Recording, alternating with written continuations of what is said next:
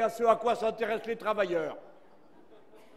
Mais vous les prenez pour des animaux Vous croyez qu'ils ne sont pas capables de comprendre que si leur feuille de paye est aussi désastreuse, c'est parce qu'il y a un monarque présidentiel qui a décidé de leur faire les poches et de donner raison à leurs exploiteurs en disant qu'il faut que le travail coûte de moins en moins cher Vous croyez que le grand peuple français n'est pas capable de comprendre ce qu'est la démocratie et la République? C'est vous qui êtes des animaux qui n'êtes pas capable de penser à quoi que ce soit d'autre, à ce qui remplit votre mangeoire, et vous en avez jusque-là, et vous en voulez encore, et on vous donne 40 milliards sans contrôle pour produire n'importe quoi, n'importe comment, et vous revenez derrière avec le seul organe que vous soyez capable de faire fonctionner, monsieur Gattaz, la glande lacrymale. Il pleure. 40 milliards, non, c'est 100. Vous lui en donnerez 100, il reviendrait pour dire non, c'est 1000. Ils n'en ont jamais assez. Ils ont la bouche qui est remplie, ils n'arrivent plus à la fermer, il leur reste un coin pour gueuler et pioler. Encore davantage voilà qui sont ces gens. Moquez-vous d'eux. N'ayez pas peur d'eux. Ils ne sont rien. Ils n'ont aucune capacité à penser l'avenir. Et ils haïssent la démocratie. Je vais vous dire pourquoi. Vous avez déjà oublié. Il faut dire que vous n'avez pas été beaucoup renseigné. Quand j'étais à Vierzon pendant la campagne présidentielle, j'ai raconté ce que c'est que le MEDEF, une petite secte de quelques patrons arrogants qui s'arrangent pour marcher derrière les petits. Alors ils disent, le patronat gagne en moyenne 1500 euros parce que comme ils ont inventé pour les auto-esclaves un statut qui s'appelle auto-entrepreneur, alors ils se cachent derrière et ils disent, la moyenne, c'est 1500 euros, je vais t'en fournir moi des 1500 euros. Vous vous rappelez du patron de Total à la télé? Je lui dis, mais vous, pourquoi vous gagnez 3 millions? De quoi vous avez besoin pour avoir 3 millions par an Il me regarde, c'est un brave homme. Il s'était jamais posé la question. Et il me dit, je ne sais pas. Je dis, si vous ne savez pas, rendez-les. Si vous ne savez pas à quoi ça vous sert, rendez-les. Camarades, moquez-vous d'eux. Ça ne les rend pas intelligents d'être aussi riches, tandis que nous, c'est la débrouille tout le temps, ça nous agite les, les neurones. Eh oui. Et le camarade, il rigole là devant. Mais c'est vrai. T'as qu'à leur demander comment ils se débrouillent.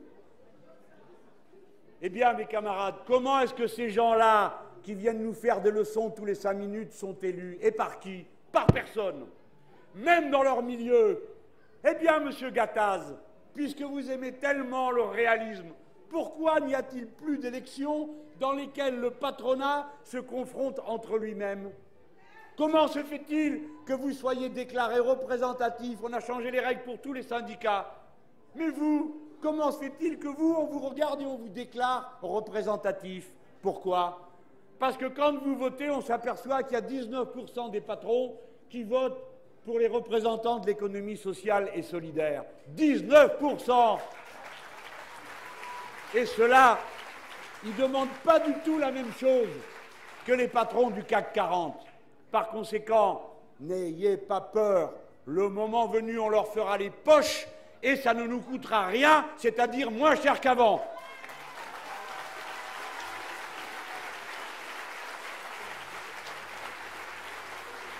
J'aimerais vous avoir fait comprendre toute l'importance qu'il y a à inscrire dans la règle du jeu, les règles de notre comportement collectif. Mes amis, les droits fondamentaux doivent être dans la Constitution.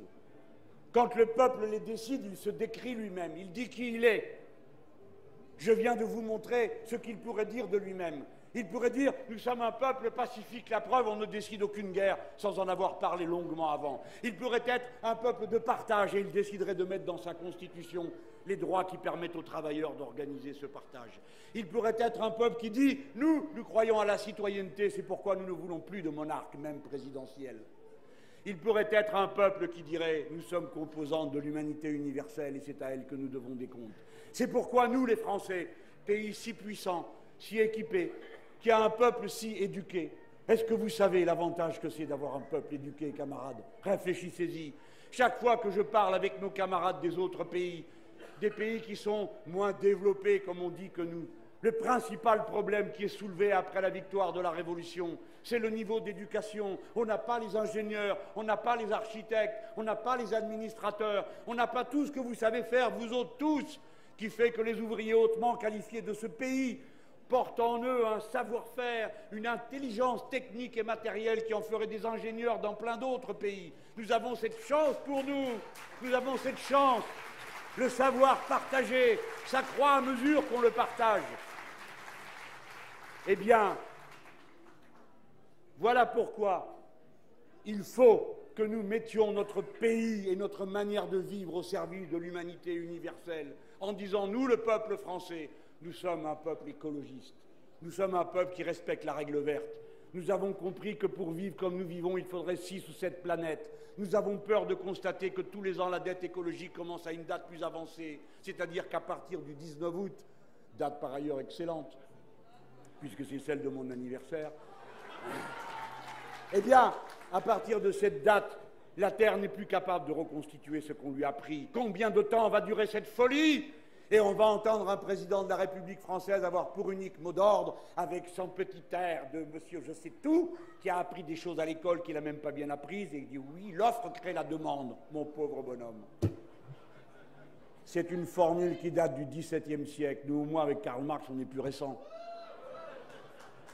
Pauvre petit bonhomme qui ne comprend rien à l'économie politique du XXIe siècle, qui ne comprend pas que l'économie politique d'une planète où il y a 6 milliards d'habitants n'est pas la même que celle dans laquelle il n'y en avait que deux ou que un, car l'humanité a mis 200 millions d'années à arriver au premier milliard, c'est 200 000 ans, pardon, 200 000 ans pour arriver du premier groupe humain au premier milliard d'êtres humains en 1920.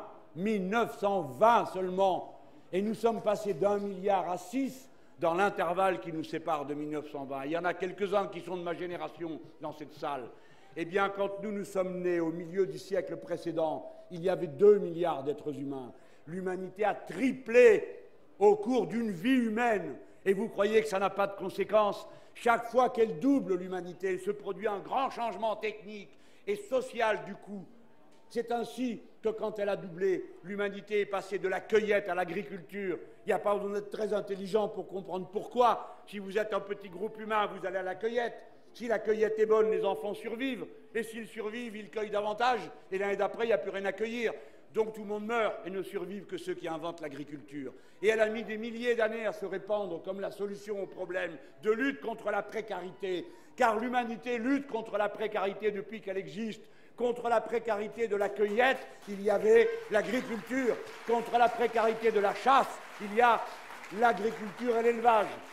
Savez-vous, les gens, que l'année dernière, pour la première fois dans l'histoire de l'humanité, nous sommes sortis de l'ère de la cueillette en mer? Pour la première fois dans l'histoire de l'humanité, on a mangé davantage de poissons d'élevage berk que de poissons pris dans la mer. C'est un changement considérable.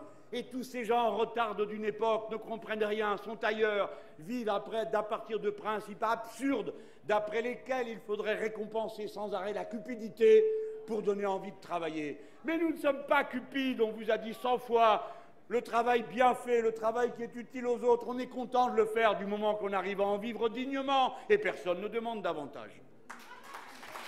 Mes amis,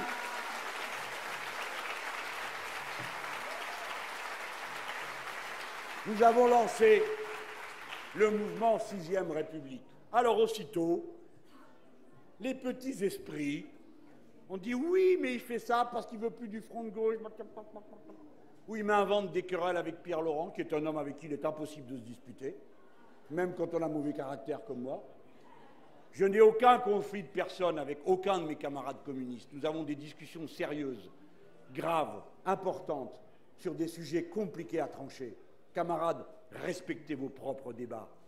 N'acceptez pas de vous faire infantiliser quand on vous dit ce sont des bisbilles, des guéguerres. Non, ce sont des discussions stratégiques en vue de la victoire de la révolution citoyenne.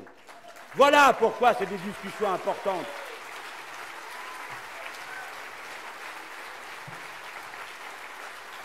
Qu'est-ce que le mouvement Sixième République? On ne vendra pas de cartes. Il s'agit d'un mouvement pour féconder l'opinion, pour faire réfléchir, pour faire mûrir les esprits, pour expliquer. Il y en a ici, non, des militants révolutionnaires Levez la main. Bon, il y en a. Et les autres, vous n'avez qu'à regarder comment on fait. Qu'est-ce qui fait un militant révolutionnaire? Il bondit toute la journée en disant la révolution, la révolution, non Il prépare parce qu'il a compris le mouvement des contradictions dans la société qui fait qu'à un moment elle se bloque. Et le peuple cherche des solutions à ces problèmes concrets. Aucune révolution, nulle part dans le monde, n'a été déclenchée par un parti politique. Nulle part une révolution dans le monde ne présente un catalogue de 200 ou 300 mesures. Non, c'est toujours sur des objectifs simples de la vie de tous les jours que les gens disent Mais vous êtes bon à rien, vous qui êtes là. Vous ne réglez aucun problème, alors nous allons les régler nous-mêmes. Et le moment où le peuple dit Je vais régler moi-même, il fait acte de souveraineté. La souveraineté est le point de départ de la démocratie et du pouvoir populaire. Mes amis, le grand ethnologue Maurice Godelier dit que les groupes humains ne commence pas par la famille. La famille est une invention récente de l'histoire de l'humanité. Les groupes humains commencent par le fait qu'un groupe d'êtres humains se donne un pouvoir sur lui-même et sur le territoire qu'il occupe. Et le grand Jaurès dit toute la question de la politique se résume à l'exercice de la souveraineté par le peuple. Par conséquent, quand les gens veulent s'emparer de leur destin, ils font acte de souveraineté et ils deviennent citoyens, c'est-à-dire qu'ils cessent d'être la multitude informe. Voilà pourquoi le mouvement Sixième République, c'est d'abord une idée qu'on fait avancer. Et c'est une idée révolutionnaire qui consiste à dire vous allez faire la Constitution. Écoutez-moi, il ne s'agit pas seulement de faire une Constitution comme l'a fait le général de Gaulle. Car voyez-vous, la façon de faire la Constitution, préfigure ce qu'elle contient. Le général de Gaulle a mis en place une constitution pour sortir des contradictions de la société, nous étions contre. Mais il ne pouvait en sortir que d'une manière autoritaire, puisqu'il s'agissait d'évacuer trois départements qui étaient alors français. Il s'agissait de faire cette immense migration de millions de femmes et d'hommes qui ont quitté la terre pour aller en ville, et ainsi de suite. C'est pourquoi ils avaient pensé, cet homme qui venait du XIXe siècle et dont le métier était général, qu'il fallait des solutions d'autorité.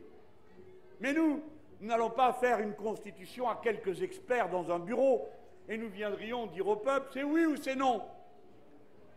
Nous allons la faire dans un large mouvement populaire. Nous savons le faire. Nous avons vu nos camarades du Venezuela, de l'Équateur, de la Bolivie faire des constitutions dans ces conditions. Camarades, comme c'était émouvant de voir au Venezuela les pauvres gens, dont certains savaient à peine lire et écrire, se faire expliquer par leurs voisins le contenu de la Constitution qui avait été distribué à tout le monde, et jusqu'au paquet de pâtes sur lesquels on avait inscrit des articles de la Constitution pour que chacun en discute au moment de manger les pâtes ou le riz. Voyez-vous, c'était un immense mouvement populaire. Et voilà pourquoi, quand le référendum révocatoire a été appliqué à Hugo Chavez, eh les masses des pauvres sont descendues dans la rue et ont voté qu'il ne partirait pas, précisément parce qu'il était celui qui avait garanti le droit du peuple à fixer sa propre constitution. Voilà. En Équateur, les camarades ont décidé que le lieu de l'Assemblée constituante ne serait pas la capitale, ils l'ont mis dans une ville qui est le symbole de l'indépendance de l'Équateur. Et alors on a vu des milliers de gens venir en cortège portant des cahiers de revendications, s'exprimer devant les députés de l'Assemblée constituante pour leur dire Nous avons discuté dans tel village et voici ce que nous avons à dire. La France regorge de cette intelligence. Le peuple français porte en lui, bien sûr, le pire. Il n'est pas parfait, ce n'est pas un peuple élu, mais c'est un peuple qui porte le meilleur. Encore un mot sur ce grand peuple. Voyez-vous, quand la question de l'esclavage a été posée en France, on ne l'a jamais demandé à personne son avis. On n'a pas demandé aux Français, êtes-vous d'accord pour faire des esclaves? Jamais.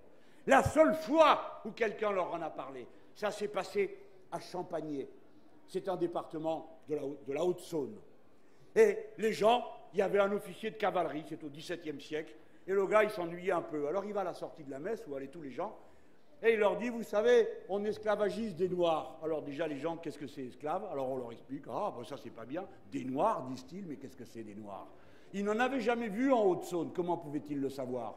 Alors le gars, il pense et il leur montre un dessin qui représente la crèche. Vous voyez? Et dedans, il y a les rois mages. Et dans les trois rois mages, il y en a un qui est noir. Les gens apprennent qu'on esclavagise des gens, que ça existe, et des noirs. Que font-ils? Une pétition pour demander au roi d'abolir l'esclavage et ils lui disent Nous sommes tous semblables. Voilà ce qu'ont dit les paysans du XVIIe siècle quand on leur a posé la question de savoir s'ils étaient d'accord avec l'esclavage. Alors, vous croyez-vous que si vous faites une constitution au XXIe siècle, les gens vont venir dire Ah, ce que nous voulons, c'est un tyran et s'il vous plaît, nous ne voulons que des gens qui soient de la bonne couleur de peau, de la bonne religion, sait pas laquelle, parce que dans ce domaine, on ne saura jamais laquelle c'est, et ainsi de suite. Non Ils diront ce que je suis en train de vous dire à cette tribune, et ce que vous-même vous irez dire autour de vous. Liberté, égalité, fraternité, voilà le cœur de la Constitution que veut le peuple français. Le mouvement Sixième République, c'est un mouvement dans les consciences c'est un mouvement qui fait que chacun s'interroge sur sa patrie, pas pour râler dans son coin ou trépigner les uns pour la révolution, les autres pour la contre-révolution, mais qui se demande ce qui pourrait être bon pour le pays tout entier. Alors on me dit, mais il n'y a pas que vous qui le demandez. Ben, tant mieux. Mais enfin, on ne va pas nous reprocher d'avoir une idée que tout le monde partage. Mais surtout, on ne va pas nous reprocher de vouloir la rendre réelle. Et d'ailleurs, vous avez remarqué, avant, il me faisait le coup de me sortir l'épouvantail de service, le père Le Pen. On continue à le montrer. On dit lui aussi, il a dit la sixième République. Oui, mais renseignez-vous sur l'actualité. Et vous verrez que la madame, elle a parfaitement compris ce que la cinquième République lui permet de faire en matière d'autoritarisme. C'est pourquoi elle dit commencez par appliquer la cinquième République, parce qu'elle s'y voit. Elle s'y voit et elle sait qu'elle aurait les moyens dans la Ve République de faire la guerre à qui elle veut, d'exploiter le peuple, de trier les Français. Voilà ce qu'elle se dit. Voilà pourquoi il faut en finir avec cette Constitution. Ne la laissez pas s'en approcher.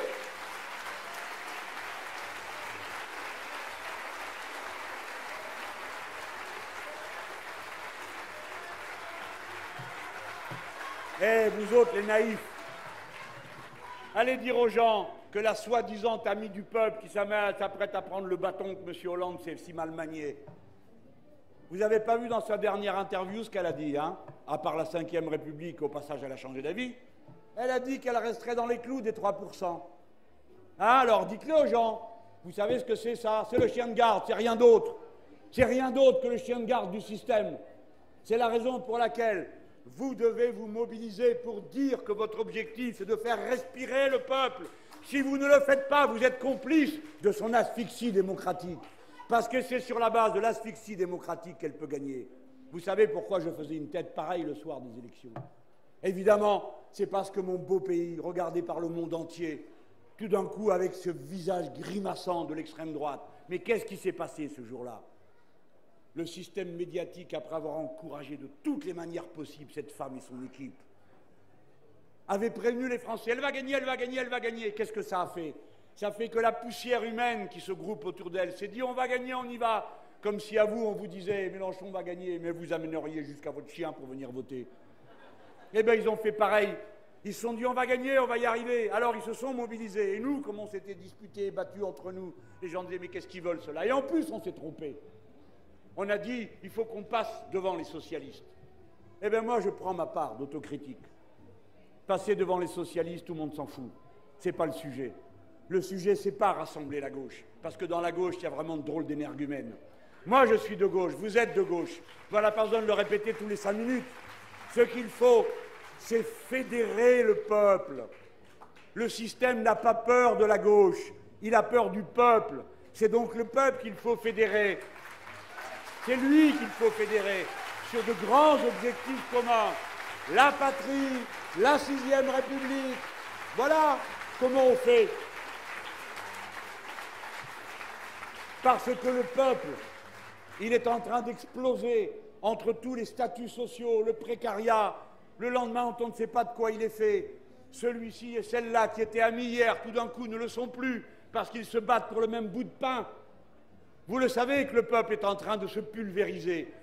Et alors, il dit, moi, je ne vais pas voter, j'en ai rien à fiche de vous. Je ne comprends rien à ce que vous me dites, monsieur Mélenchon. Quoi Vous voulez être devant les socialistes Pourquoi faire La même chose? Vous comprenez Ils ont compris plus vite que nous. Pourquoi il ne fallait pas passer son temps à parler de la gauche?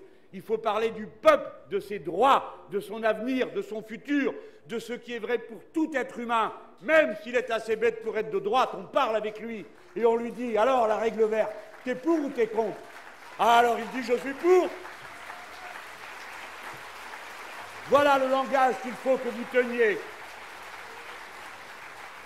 Nous n'allons pas mener la guerre pour expliquer que nous sommes la vraie gauche et qu'ils sont la fausse gauche, mes amis. Parce que si vous faites ça, comme l'expliquent si bien nos camarades de Podemos en Espagne, dont le représentant est au premier rang, je veux entendre la clameur d'enthousiasme que vous exprimez pour leur soutien.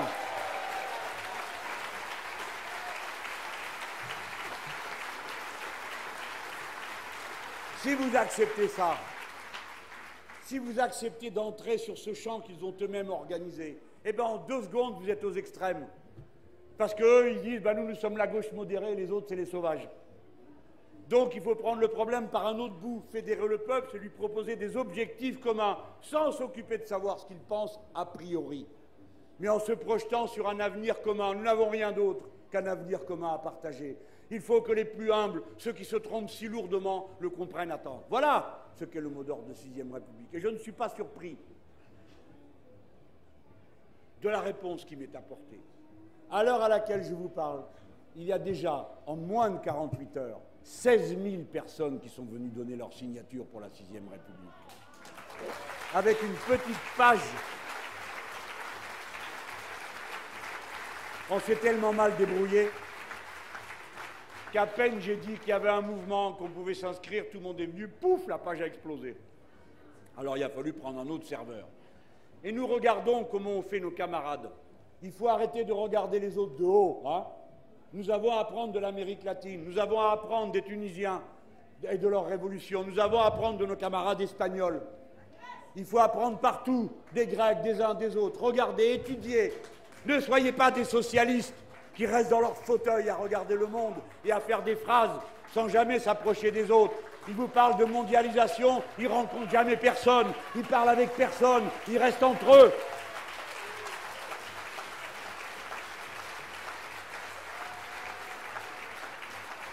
Eh bien, nous avons regardé comment ils ont fait. On va faire deux choses. La première, c'est d'avoir une idée carabinée, la sixième République. La deuxième, c'est que nous faisons un mouvement et que nous allons l'installer dans les réseaux sociaux. Alors aussitôt, il y a des camarades qui m'ont dit, mais je n'irai pas à Facebook. Mais je t'ai pas demandé d'aller à Facebook, animal. On va ouvrir un site, bien sûr.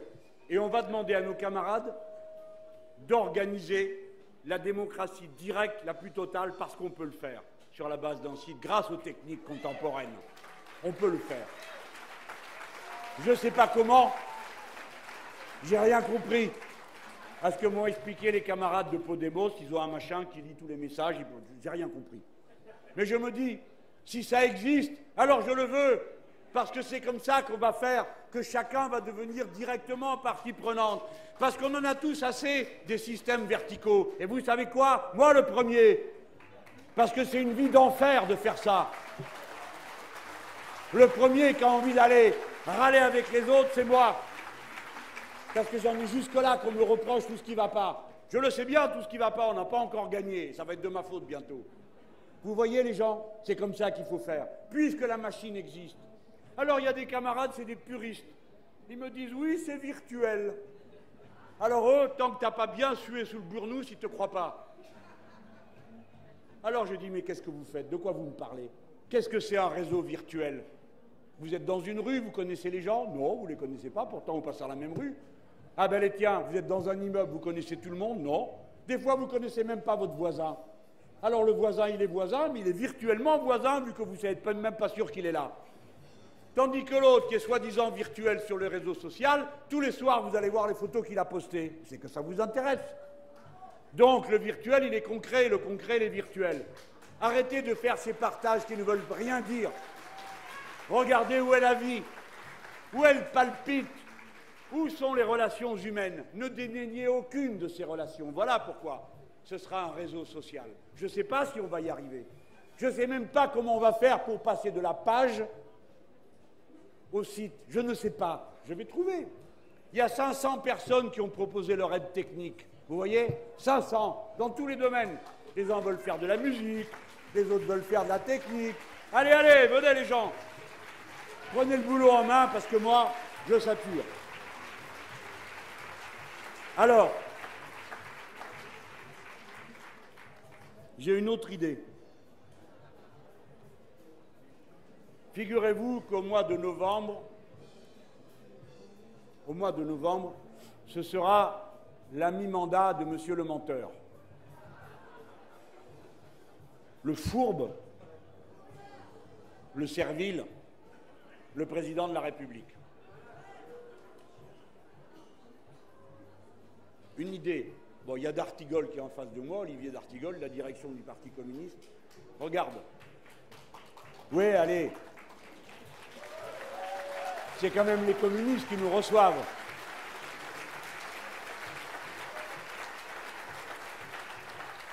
Ah, mais il y a aussi mon camarade Lim. Lui, c'est un bon socialiste, c'en est un qui s'en va. C'est normal, il est économiste. Hein. il est de gauche. Mais mes camarades, non mais c'est juste pour dire, hein, c'est pas que je veux m'imposer ou quoi que ce soit, après on me fait des histoires. Mais on pourrait, à mi-mandat, Hein, leur refaire ce qu'on leur a déjà fait le 5 mai. C'est-à-dire qu'on pourrait se retrouver tous dans la rue pour leur rappeler que rien ne nous désorganise, rien ne nous épuise et qu'on est toujours là et qu'à la première occasion,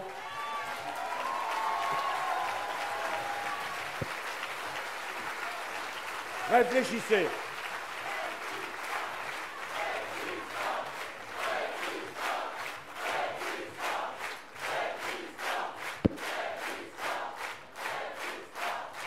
Bon, allez, maintenant, un peu de philosophie morale.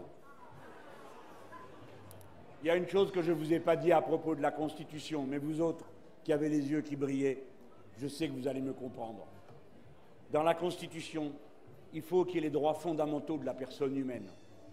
Et le premier droit fondamental de la personne humaine, c'est de se posséder soi-même.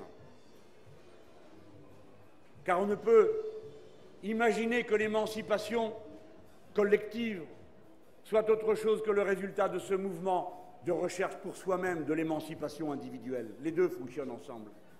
C'est pour s'émanciper individuellement qu'il faut s'émanciper collectivement.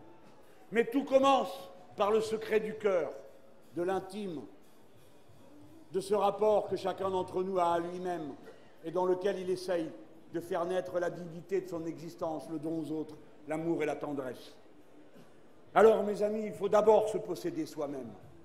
La Constitution doit établir que chacun dispose de lui, toujours, du début à la fin. Et en premier lieu, que les femmes sont les propriétaires de leur corps, qu'elles n'appartiennent pas à la société, qu'elles n'appartiennent pas à leurs époux, qu'elles n'appartiennent pas à leurs enfants. Mettez ce droit dans la Constitution. Mettez ce droit dans la Constitution pour que plus personne n'ose jamais vouloir y toucher sans changer la Constitution elle-même. Et réfléchissez encore à ceci. Voici que les progrès inouïs des sciences et des techniques commencent à profiler le rêve fou qui était celui de Condorcet. Un jour, mes amis, nous allons vaincre la mort. Pourquoi n'est-ce pas le jour d'aujourd'hui? Nous qui avons autour de nous tant d'êtres chers et qui parfois sont en train de partir. Mais un jour, nous vaincrons la mort. Et alors, ce qui était le cœur de la condition humaine, qui était sa finitude subie, deviendra d'une manière ou d'une autre une finitude que l'on aura choisie. Alors, en attendant ce jour glorieux, ce matin, où nous aurons cette confrontation à soi définitive et totale, où il faudra savoir si ça vaut la peine ou pas, et dans quelles conditions. Au moins qu'on dise aujourd'hui que chacun dispose de lui-même, et que s'il veut, pour une raison ou pour une autre, parce que la maladie ou la déchéance l'a atteint, en finir avec l'existence, qu'il puisse le faire, avec une main qui lui tient d'amour.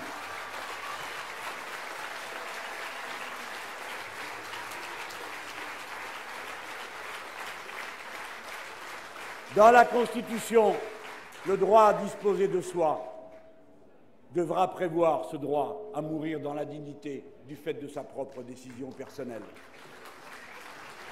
Voilà. Vous allez repartir. Il y a un jour de fête encore. Il fait beau.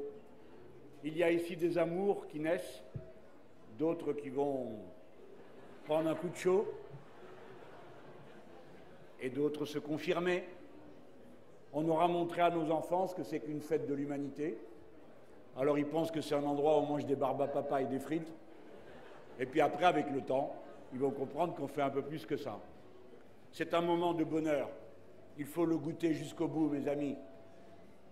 Quand la vie en présente, savourons-les. À nous autres, on travaille trop du chapeau. Il faut être aussi un peu dans l'instant. Et souvenez-vous d'une chose, quand vous commencerez à désespérer, parce que ça arrive à tout le monde, de se dire c'est perdu. Les optimistes et les pessimistes, c'est deux flancs de la même capitulation. L'optimiste, il dit Ah, tout va s'arranger. Et le pessimiste, il dit Ah, tout est foutu. L'un et l'autre s'en remettent au futur du soin de régler les problèmes qu'ils ont à régler eux-mêmes. Non, le futur n'est pas ce qui va arriver, c'est ce que nous allons faire. Et chacun d'entre vous, même quand c'est difficile, même quand on ne peut pas parler au travail parce qu'il faut se méfier, et des fois on ne peut pas parler à la maison parce qu'il y a des gens autour qui écoutent, chacun d'entre vous peut être la tranchée sur laquelle bute la bêtise, l'égoïsme, la brutalité, le racisme. Chacun d'entre vous peut, dans le moment où il voit la vague s'avancer, dire je ne suis pas d'accord à quelqu'un qui dit une bêtise plus grosse que lui, dire non, pas moi. Il suffit qu'un seul résiste, et alors tous les autres se mettent à résister. Il suffit qu'un seul allume le feu, et le feu prend toute la plaine. N'abdiquez jamais votre responsabilité d'être humain.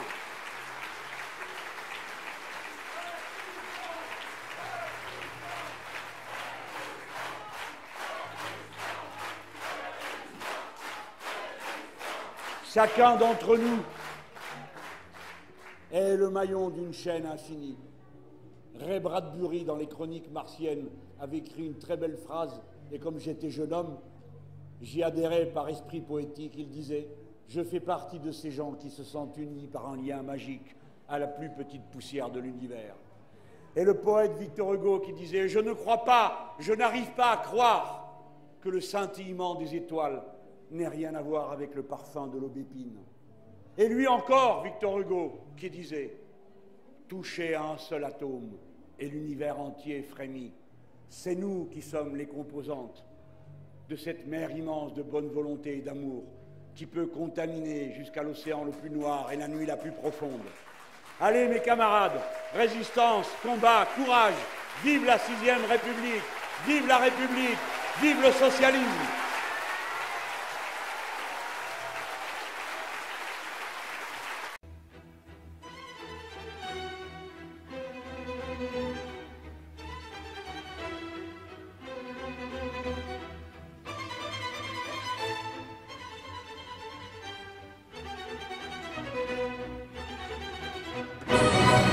On est dans un combat aujourd'hui euh, ensemble euh, que je partage avec lui qui est euh, plus, de, plus de régulation et la fin du, monopole et du pouvoir des banques qui tue les économies et tue les gens. Jérôme Kerviel, il est à sa place ici parce que ça s'appelle la fête de l'humanité. Pas la fête des gens de gauche, la fête de tous les êtres humains. Voilà ce que c'est ici. Pour sauver la vie parce que j'étais tout seul à, une époque du dossier où j'étais au fond du trou euh, et, des soutiens comme ça, c'est des, soutiens qui m'ont aidé à reprendre confiance et à espérer. Je veux tous vous remercier pour votre présence euh, avant, pendant et pendant la détention aussi. J'ai reçu beaucoup de messages de, militants. Et toi aussi, tu m'as fait passer des messages. Et ça m'a aidé à tenir. Donc c'est normal que je sois là aujourd'hui pour ça. Il y a 15 ans, quel fait vous étiez s'imaginer un jour à la faute de l'humain C'est quand même curieux comme symbole. Évidemment que non. Évidemment que non. J'étais dans une bulle euh, coupée de tout.